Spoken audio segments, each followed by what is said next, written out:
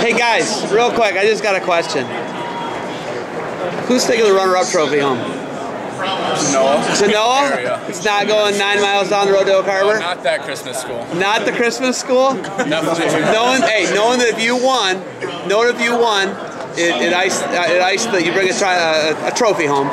What was that a little extra pressure? Um, I don't really feel any pressure. I just, I don't know. I just went out there and won. It helped my team. Now we got runner up,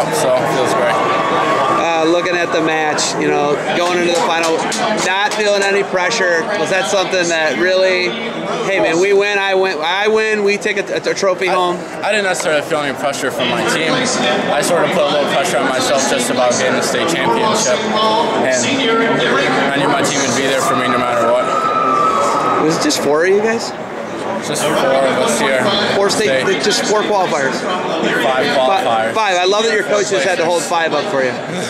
I thought you were talking about placers. My, Is, is Genoa the team to beat in Division Three moving forward? um, they're definitely one of them. I think Are you guys having fun? we're having a whole lot of fun out. How do you celebrate tonight? Go home and eat. Go home and eat. Yeah. All right. Hey, congratulations. Thanks for the time. Good luck to you guys moving forward. Thank you.